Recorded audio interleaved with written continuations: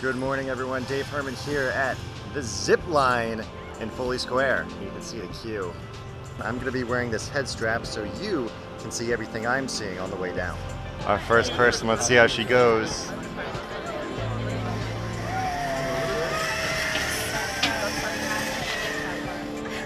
First one of the day.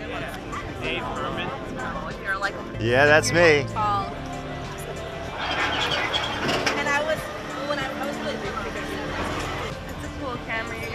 Got going on. I, it's pretty cool. The GoPro just got it the other day. Thanks. All right. Left foot, right foot facing out. Actually, let me put this.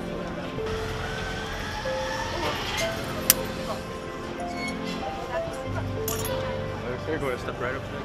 Thanks. I'm ready to go.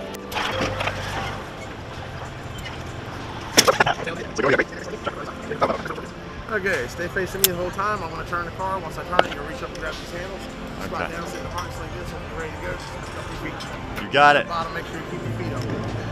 Oh, okay. Whoa!